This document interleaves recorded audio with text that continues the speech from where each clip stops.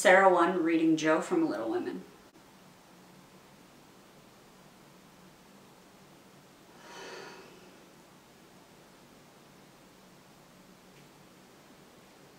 I wanted to save you from this. I thought you'd understand. I never meant to make you care for me so, and I, I went away to try to keep you from it if I could. You, you're a great deal too good for me. I'm so grateful to you and so proud and fond of you. I don't, I don't know why I can't love you like you want me to, but I can't change that feeling. It would be a lie to say I do when I don't. I'm sorry. I'm so desperately sorry, Teddy. I, I'd kill myself if I thought it would do any good. I wish you wouldn't take it so hard. I can't help it. You know it's impossible for people to make themselves love another person. It's, it's not the right kind of love and I'd rather not try it. Uh, don't swear, Teddy. You know, I, I agree with Mother. We're not suited to each other. We both have strong wills and quick tempers. We'd probably make each other miserable if we were so foolish. Just, no. No, I can't. I can't.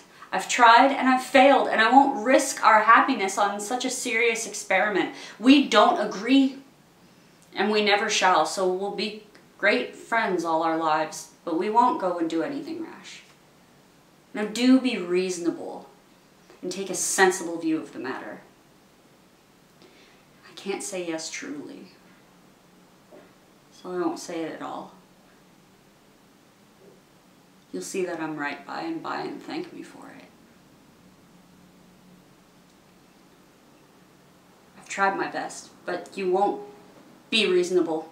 And it's selfish of you to tease for what I can't give. I'll always be fond of you. Very fond indeed, as a friend. But I will never marry you. And the sooner you believe that, the better for both of us. I care more than to be loved. I, mean, I, I want to be loved. You know, women, they have minds and souls as well as just hearts. And they have ambition and talent as well as just beauty. I'm so sick of people saying that love is all a woman is fit for. You'll get over this after a while. And find some lovely, accomplished girl who will adore you and make a fine mistress for your fine house. I shouldn't. I'm I'm homely and awkward and odd and old. You'd be ashamed of me.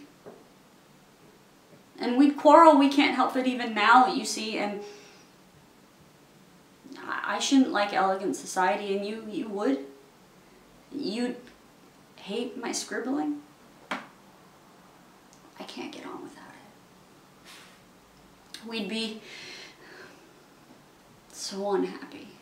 Wish we hadn't done it and everything would be horrid. I don't think I shall ever marry. I'm, I'm happy as I am. I love my liberty too much to give it up to any man.